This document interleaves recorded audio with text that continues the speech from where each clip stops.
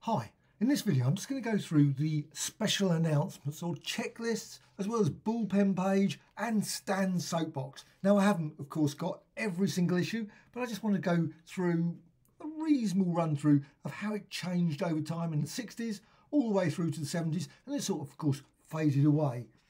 Now I suspect they still make announcements and things, there's various things, but you can see there you've got like Daredevil, Submariner.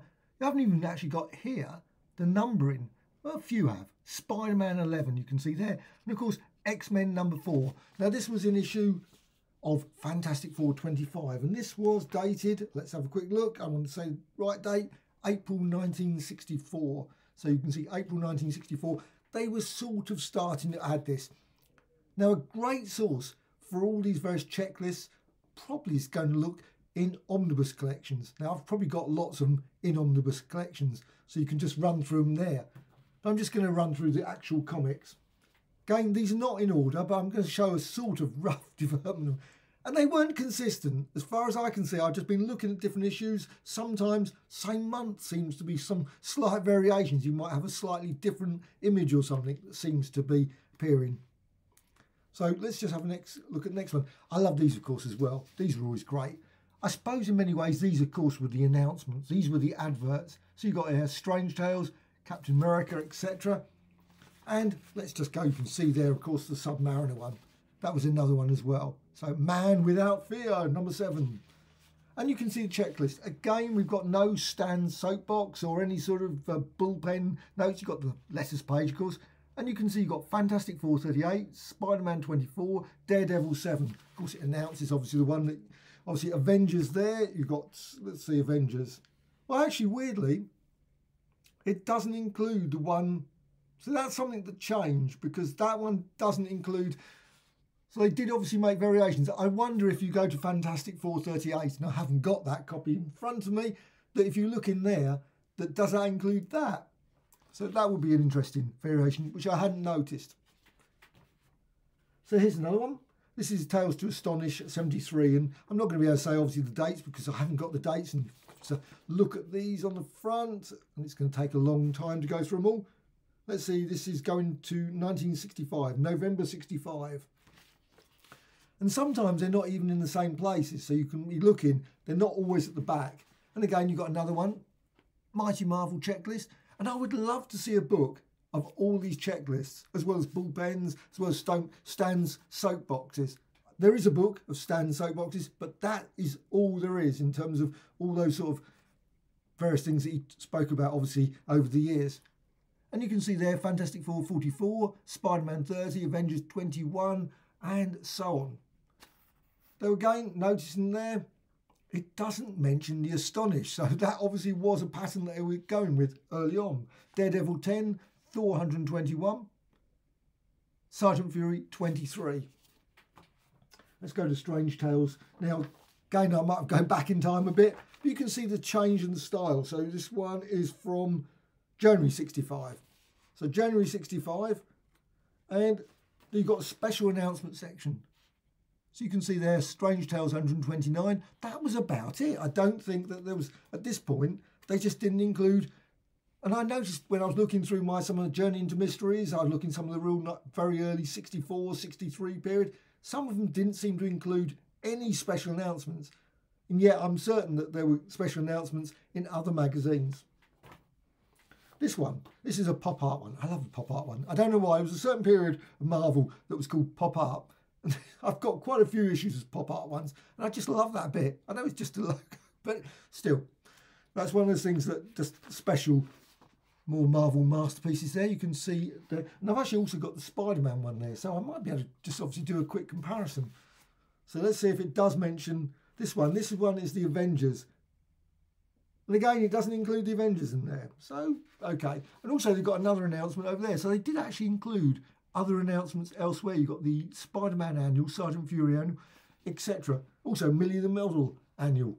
You can see now Fantastic Four there, 44, Spider-Man 30, X Men 13, Daredevil 10, and so on. And it just gave a little bit. I always love the blurbs. And sometimes when you read the blurbs about it, you think, really? Was that the story? Because sometimes you just think, no, I think it was slightly different from that. but that's obviously what they thought at that time. That's what they were putting. This is another Marvel first, and of course there was a lot of sort of boosting it up, saying this was going to make the most amazing comic of all time. And of course, reality was probably wasn't. So let's go on the Spider-Man one. So that was the Avengers. Yes, they did do that. I, I had never noticed that, but they do vary them. So you've got here, Spider-Man doesn't get mentioned, but in this one you've got obviously Fantastic Four, 44, Avengers 21, etc. But no Spider-Man. But the Avengers does get mentioned, 21, and that is 21. Yes, again, we've got the various announcements all the way across this, but they always generally went with the yellow. They did vary it later, but this period they were going with yellow. Obviously, that just stands out very nicely on that page. And of course, you've got there about Spidey, the next issue. This one is September, 7, September, which year is this? 65. So we're going through, obviously, Fright from 4, Save You, I Must Kill You. And again, yellow still. So you've got here they were still obviously following that format. Again, Spider-Man 28, Avengers 19, etc. And again, you've got all the various ones there. Fantastic Four annual number two, three, advertised there. Pop art books. You're reading a pop art book, a Marvel pop art book, as it says there, which is always quite nice. That's well, actually, it wasn't a book. It says productions, which is weird when it says productions. Does it say productions on the other ones? Yes, productions. Never really noticed that. Always see the pop art bit. Productions. No productions. Now this one, obviously next issue. And again, now on the letters pages, there's no checklist. So you can see there you've got a little next issue one. And let's just turn to the next page. So now they move the bullpen. So I wonder if this was the first time Marvel bullpen. And you've got here all the details, obviously, of the things, various things that are coming up. Adam Austin, of course, with there, Submariner. You've got Stan Lee, of course, etc., etc. Jack Kirby's inking as well as penciling. But you've also got the checklist there, and of course, they were advertising good old Avengers t shirts and things. I love those. I never got one, but I always love the adverts for them anyway. Marvel Comics Group, official swinging stationery as well. So they advertise those, and of course, you've still got these Marvel masterpieces there. The next issue, that was 22 of Avengers. Now you'll notice I've got a lot of Avengers. I'm running through the Avengers more so than anything else, which of course makes it easier for actually dating it. So this one is obviously December 65. And December 65, we go now to the back end. Of course, the letters page now doesn't have a checklist. Now, that did again vary. It did seem that sometimes they included on the checklist on there, I suppose, depending how many letters they got that month or any letters they want to include. But then you've got it again, the bullpen bulletin on the next page, the nutty news and notes from one Marvel madman to another. That's quite good. So you've got the Mighty Marvel checklist at this point. At least the name was starting. It wasn't just special announcements. It's become the Mighty Marvel checklist, a lineup of some of the marvelous, because of course didn't include them all. You've got obviously ones like Rawhide Kid, Millie the Model, Linda Carter, whatever, were not included in that list. And you can see Spider-Man 32 there. And again, this is the Avengers. It doesn't again include the Avengers, which is probably sensible. I'd never really noticed that before the fact they didn't include the issue They're Astonish 75, Sergeant Fury 25. That's another one. So I suppose if they did bring out a book of all of the checklists, how would they do it? Because there was always going to be one or issue you'll be missing each time. It would make it slightly complicated, more complicated than I thought. Maybe they'd have to bring out two to balance it off so they would have every issue. Still, okay, that was just an just an idea. Now you've got here, this one's the Avengers. I'm not certain which issue because of course it doesn't have the details there. But again, you've got all the various ones there. Mighty Marvel checklist, you've got the bullpen bulletins, and you've got Fantastic Four 49. I wonder what happened in that. Galactus! Because you've got Galactus, you've got Spider-Man, X-Men 18, Strange Tales 143, and you also got Mighty Marvel Collector Item Classics. They included those. Quite often they'd include the fancy masterpiece ones and those sort of things, which were of course the reprint mags. And again, the letters page is obviously completely clear of anything like that. Now we move on a little bit. This is obviously 39. I don't know which year this was, but 66, 67, April 67 at this point. I might go back and forwards by accident. Didn't seem to have many 66 ones. But ah, now this is another one. See where they vary. You've got the bullpen there and you've got all the details there. You've got the mighty.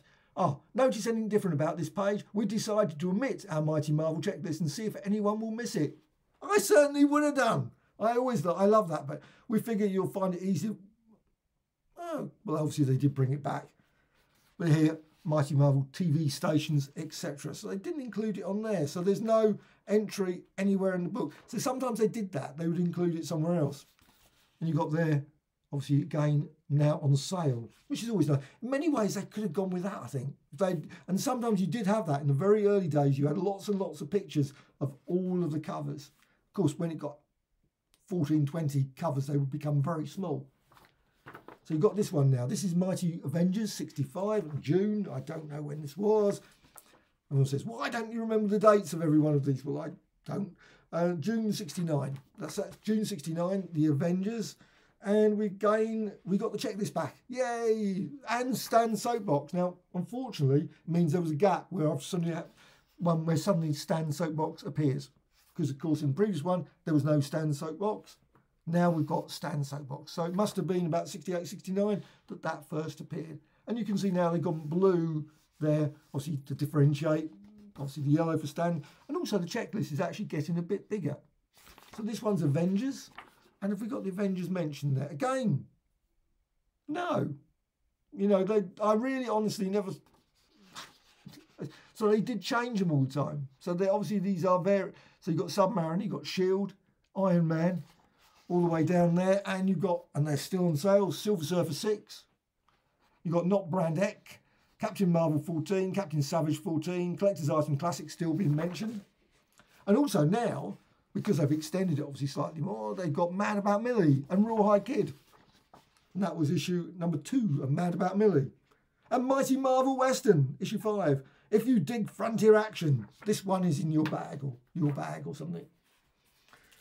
Now, probably going back again, this is probably, an, this looks slightly older actually, 60, yes, August 68. So is obviously Submariner issue 4. And again, you've got all the lovely ones on the back. Also, you've got, they're advertising Not Brand Echh. Now, this was number 9. Again, it doesn't include there. And you've got to check this. You've got, oh, Stan Soapbox was there, definitely that period. So you can see there. And also you've got all the details about Silver Surfer, Not Brand Echh in the bullpen bulletins. And again, you've got quite a long list of all the checklists. So you can see there, the Spectacular Spider-Man. And that was right at the top. That was very unusual. The 35 cent Spectre number issue one. Because it, I don't know. It did probably did it sell that many, I wonder. It was just and also not Brand Echh. So obviously the ones they were just bringing out, they were putting right at the top. Fantastic Four 77, obviously at this point, Spider-Man 63, Marvel Superheroes 15, one of the greatest, Medusa one. Doctor Strange 171, you've got Nick Fury, you've got Marvel Spaceborne Superhero. Just they put the full title, Marvel Spaceborne Superhero, Captain Marvel issue 4. That was a bit of a mouthful, wasn't it, for the title? Marvel Collector's Item Classic 16. There's another one here. This is Cyclops and Marvel Girl. And this is 68 again. So 68. Let's just go back. Oh, it's still got Stan Soapbox, but it's blue for the checklist. So again, they varied the checklist. Tales of Asgard, I love that one. Issue one, that was just a one-off. Also got Sergeant Fury right at the top, right at the top of the list. It says Marvelous Mags on sale right now. So that's near, seems to suggest all of them. Every single one they were obviously bringing out. So you've got Marvel Superheroes 16, Avengers 56, Avengers Special 2. Oh, they're advertising specials and things in here as well. Captain America 106, Hulk 108, Hulk Special, and so the X-Men, again, they didn't include the X-Men in this list. That's that. Which, of course, the issue was the X-Men. And this one is Submariner 16, and it's going to be August 69. So we're getting the, near the 70s now. And now they changed it quite a bit at that point. Did go slightly odd. Maybe because, of course, they were increasing the number of issues. Of course, that was the the thing at that point. And I don't even know if the bullpen bulletins were in here. Oh, yes, they were, but they was right in the middle, middle of the book this time. You can see Stan Soapbox, and you've got the blue there. And again, it was talking about Avengers, Submariner, George Klein, Mother. Oh, uh, record album we've heard of. It's Mother Earth, Smasheroo, not Brand Echh, and also, of course, they were advertising all the various on still and still on the sale Shield number 11, Strange 181, Marvel 21, etc. And also you've got obviously Millie the Model and Chili. I never bought a copy of Chili. Now this is probably again getting into pro- oh, this is April 70. So we're into April 70 with the Avengers. And now, yes, the checklist is gone. So the checklist is definitely gone. You've got Stan Soapbox really getting a lot longer there. And also you've got obviously a list of all, I've got Roy Thomas, all the various best writer, best this, best artist, Jim Steranko. And you've got other, other items as well, talking about various Marvel Mania International. But the thing was, the checklist, I'm certain the checklist was still in here. Yes, I liked it this way. Many ways, it was nicer to see it on the single page like that, and you can see the Marvel Mania there, and you can see Mighty Marvel checklists. And also, they included a lot, and of course, so you had a lot of the smaller ones there didn't give details about it. So all the others they were giving details, sometimes very very vague details. DD gets his man, but this time he tackles the galvanizing gladiator. He loses the girl he loves. That sort of stuff. Also, you got Barry Windsor Smith with a sword and sorcery spine tingler and chambers, chamber of darkness. But you've got that as well. You've got the and of course. So you've got just a little list there. Peter the Little Pest. Homer the Happy Ghost. Doing some real, and also My Love issue five, a Millie the Model, and a few others as well. Again, ones that definitely should be in omnibus collections. Peter the Pest, I think were reprints from Atlas period as well. So I somehow suspect they will never, unless of course they bring those out in the new Atlas comic library that's coming out. Peter the Pest, that's what we want. This one's 72, and again, I'm probably going to go back and forth. I just sort of roughly got them in the periods I thought they were in. Oh, checklist and it's back again. So you've got now checklist has rejoined the bullpen page. Now it's called the sensuous bullpen, not Marvel or everything you wanted to know. We did that one already, etc. Of course, you've still got Stan Lee's soapbox in yellow still, so it's still going for yellow, and you've got all the details. And I always loved reading these. It's always talking about Gerry Conway. It was like finding out about all the various people that were involved in these comics. And also you got here, this you got the list there, and you can see. So I think this one went slightly back. So I, am certain it's uh, 72. Uh, some obviously sometimes they they join them back for some. There was no real logic. It was sort of like they obviously had, and I don't know if different certain issues had different pictures as well. Sometimes and you had different. So it's because here you've got this one because it's a Fantastic Four. Now I'm assuming with the fact that the other issues didn't have that. No, I don't know. I can't compare. This one is now into, obviously, it's probably slightly before 72, actually saying that. This one is January 61, so I've just gone back a bit. But this time you see you've got that format. You've got Rawhide Kid, Marvel, so you've got the Mighty Marvel checklist. So they're still going with that. Treasure trove of traumatically tempting tidbits. Good old alliteration. Actually, Stan Soapbox, not yellow. So obviously that did vary as well. I didn't realise that. And also you've got variations in the colours as well. So blues and oranges as well going through this. Talking about obviously the awesome Arnold Drake, etc. Sometimes they mention things as well, that comics upcoming that I think never happened or there was going to be some annual or something and some it never appeared. Might be wrong on that, but it did seem sometimes there was information you think, oh, this is Captain Savage. Now, this did include checklist. Not every, I don't think every issue of every magazine included the checklist. So you might have gone to like the Millie, and I haven't got any Millie ones here, but I remember sort of like Millie and certain magazines didn't have the Marvel checklist. It's if they didn't want the Marvel universe to sort of be involved with the Millie ones, which was odd because you think that people who were fans of Millie comic might have turned around and said, oh, you know what, I'm going to try Daredevil. It sounds good, sounds interesting, but they didn't. They just they didn't always include that sort of information. I might be wrong on that, but I think that was the case. That please put in the comments below if you've got some obviously corrections that maybe they did include it, but I don't think they did. So you've got Fantastic Four 97, Spider Man 83, Silver Surfer 14, and you also got ta- oh, and still on sale. I always love that bit. Still on sale. So was that carried over from previous month? Marvel Superheroes 25, Marvel Tales, etc. And you got again another little mention. Not, not to mention, not to mention it's nothing better than a not to mention.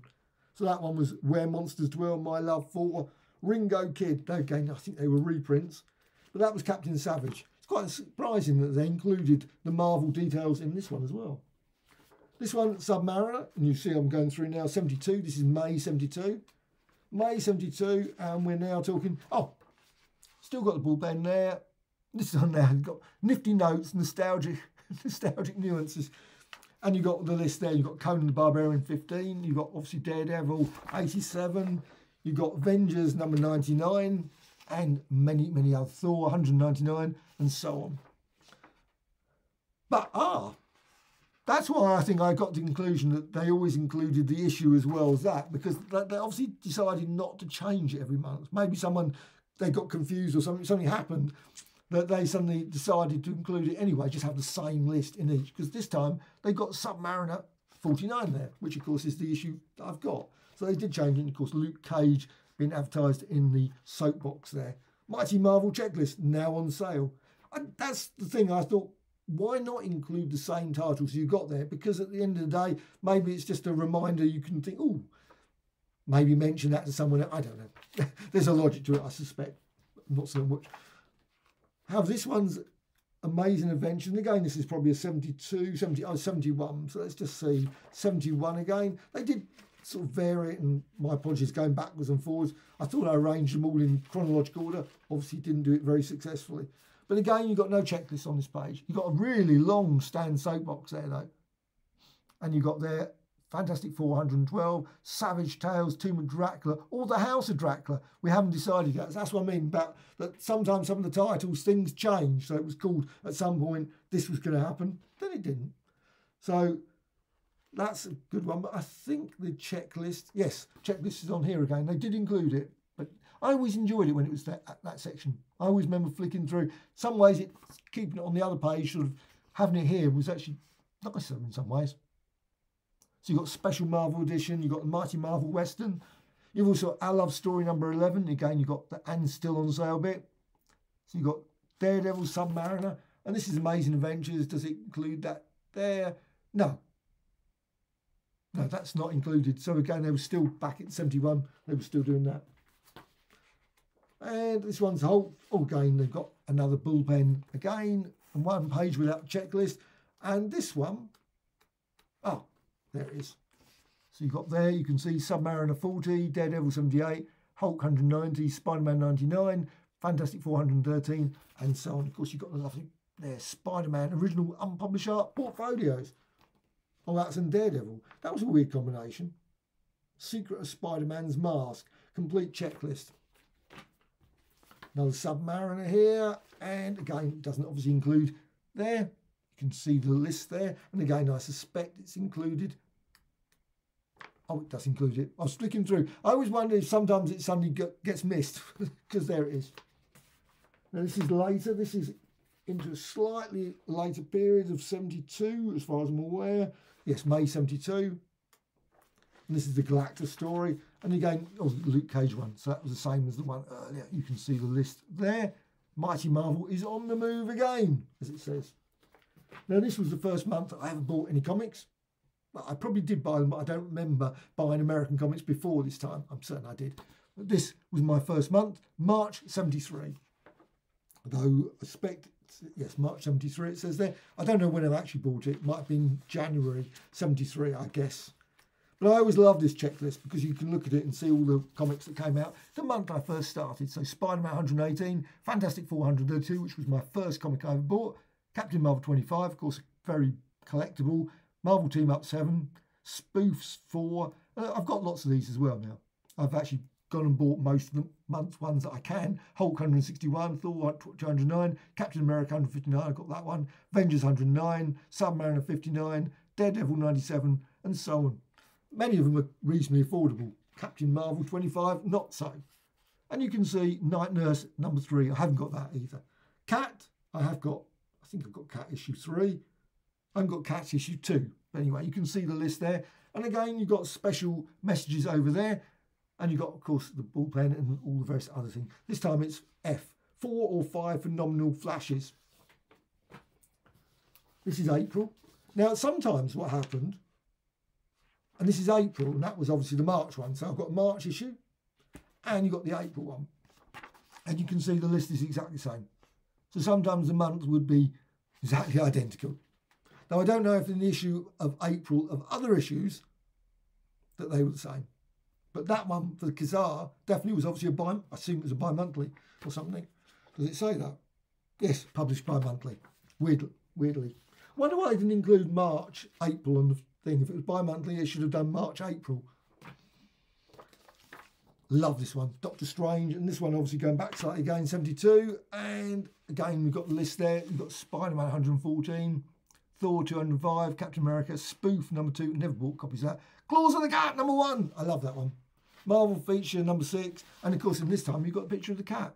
I guess that was probably repeated in lots of other magazines. Weirdly, got the advert there, the cat. Who else? And then this is the cat. Who else? Two, two cats on the. That's a bit odd, isn't it? Including two on still. This one, Creatures on the Loose. Let's just have a look. This was, oh, 72 again. So, actually, I thought that was later, actually. That's weird. Now, some of these ones didn't include the checklists. So I'm just flicking through there. Creatures on the, but this one did, which is, of course, the way when I say it. But things like some of the probably the horror ones might not have included the details. You can see again, oh, I'm, oh, Iron Man 52, not Iron Man 55.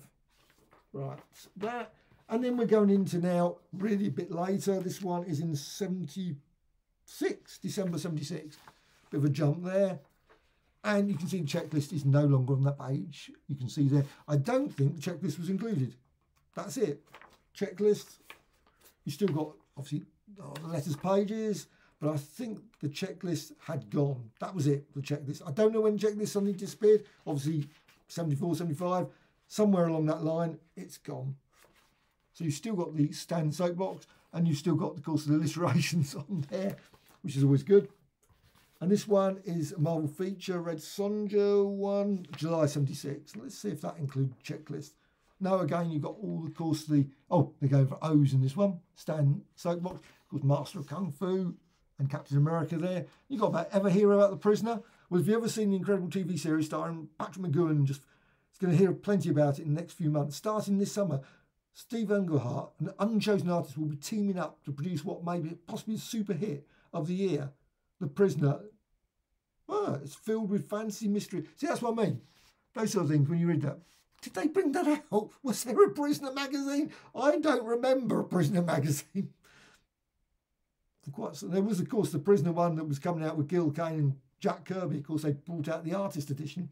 But that one, now Spidey Super Stories, I never bought any of those of course, got here mentions about Nova and the Invaders going monthly. And now we're into the final one. This is the final one, and this one does have, I think, still at this point, but it's really gone sort of all over the place and where it is. Oh, there it is, bullpen, and also you've got, of course, still got some after 1979. So you've still got the bullpen and you've got Stan Soapbox looking pretty quite a lot, filling half the page. There's good old Stan Soapbox filling half the page, and then you've got the bullpen at the bottom there. You've got Pizzazz. Again, I never bought that. Pizzazz. Also, Sergeant Fury's Lonely Hearts Club band. I wish I bought that one. Strange I didn't get that one. Marvel History Kiss, the Kiss Rock special. I love that one. Battlestar Galactica, that was good. And Black Panther, it mentions, and also Daredevil 156, but no checklist. Oh, it also mentioned about the ever unfolding epic since Iliad. So that was the Avengers. So that's a sort of very rough run through. Maybe I might do another video making it try and work out even more logic to why they, how they did it. Now the very early issues of Marvel, and I'm gonna say I was gonna look around and quickly pick up an omnibus. They didn't have it at all. So I've got this one, 62. So you've got 62 and you run through obviously one month there's no checklist. Unless they obviously got rid of the checklists from these books, but they didn't have checklists. Now, sometimes, and was, this is why I was pointing out, you would have sort of down the bottom there, this is obviously a reference back to an earlier issue. But sometimes you would have in here, you'd have a list right down the bottom or somewhere, it would sort of like the Hulk is coming or something, that sort of thing. But in most cases, the checklists were very, very sort of rough announcements in the earlier days. And that's well, have you got any happy memories about checklists? Did you like the checklist? Did you ever look at the checklist? you maybe you'd not, unlike me, you probably never looked at the checklist. I don't know, but I, I always love those. Also the bullpen ones. I loved reading all the comments, all the various things, as well as of course the letter pages. I would love to see a lovely collection of letter pages because letter pages got some fascinating letters. Of course, from many famous artists and writers that obviously went on to bigger and better things. So they're always great. And also, of course, Stan Soapbox. It would be nice to have, a, obviously, there is a book of Stan Soapbox that is definitely available. Notice it's not the cheapest of books now. It's not. It's out of print as far as I'm aware. So uh, definitely, if you want to get a copy of it, it's worth checking out. But uh, did you ever read those as well? I mean, I loved reading those. That was always one go-to section. Well, I hope you found this of interest. And uh, I say, any comments? Always great to hear from you. Bye.